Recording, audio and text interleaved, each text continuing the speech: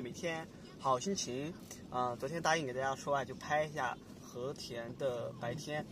本来以为的话，因为昨天怎么说呢？昨天晚上的话，这个雨水下的还是蛮大的。我我以为今天的话，这个雨水就会减少，没想到今天起来以后，发现这边的话雨水更大了。嗯，现在就给大家拍一下，就是环湖新区这边的话，也算是环湖新区了吧。两边的话，大家看都是围起来了，以后的话都是小区。前方的话就是和田市最著名的，然后现在是教育水平呀最高的一个。嗯，小学就是北京海淀小学，后面的话好像是古江八格乡中学，这就是中学，这边是中学。还有再往后面走的话，这边的话是天津中学，也是和田市目前最好的一个高中。这边的话就是一个房地产公司，大家可以看这这个塔吊的的数量。这边的话是一个乌鲁木齐过来的一个开发商，带着巨资来这边投资，呃开了一个楼盘。然后这边的话就是海淀小学，这个小学的面积的话还是蛮大的，占地面积挺大的，感觉跟内地的话一个大学都感觉是差不多的。再往前面走的话，就是和田新建的一个国宾馆，和田宾馆吧。这个宾馆的话，建的还是占地面积也挺大的，感觉就相当于一个大学一样。这边的话，人民东路这条路的话，车流量不是很大。但是在未来几年的话，车流量会更大，因为因为的话，大家看，我们的左手边的话，这边的话也是一个楼盘，江江山府，是最近就是股 A 股上面就是涨得比较凶的，就是新疆交投的一个项目，他们这个项目在这边的话也是落户了，这边的话就是和田宾馆，国宾馆嘛，他们都说是国宾馆，啊，这边的话一个开发商的话就是地产开发商的话就三四家。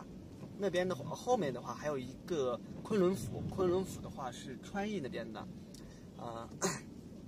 那边的话是昆仑府，也这边的话主打的话都是学区房，而且它这边的话楼王的话，它这个楼王的这个价格的话是达到了四千九到五千左右，大家可以看我前面的视频的话，就是和田这边的一个。就是房地产的房价的一个均价的话是达到了四千六百五十一块钱，比新疆巴州的话要低了三块钱。他们前期就是打造这个地方的话，怎么说呢？打造了就是说要在这个头头建一个天桥来连通这个昆仑湖，让昆仑湖成为这个小区的他们这个江山府一期的一个后花园。其实这个的话，他们建成的话。我觉得是非常的棒了，因为这个后花园，孩子呀去公园玩的话还是非常方便，就感觉这样子的话真的是变成了他们这小区的后花园。然后我们再看一下这边的话，就是昆仑湖，也是和田以后环湖这边的一个中心，以昆仑湖为中心，两边开始大规模的一个发展和建设。这边的话就是国宾国宾馆。再往前方的话，就是和田地区的很多单位，像和田地区的什么单位呢？啊，融媒中心就在前方，还有还有嗯，海关呀，海关新成立的海关，还有和和田这边的一个燃气公燃气公司的一个总部的话，也都在前方。嗯，我们再看看这个前方，我们再看看这边的话，就是一个也是中呃新疆交投。这边投资的水世界，水世界，这个水世界的话是预估的话是今年年底交工，年底交工开业，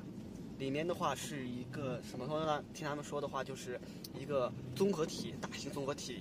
不管是玩水的，还有什么购物的、看电影、KTV 都有。然后今天下雨的话，外面的，然后这边的话是一块新的一个空地。还没有开发，再往前方走的话，就是说什么呢？呃，这边的话是一个环湖小区，一个廉租房，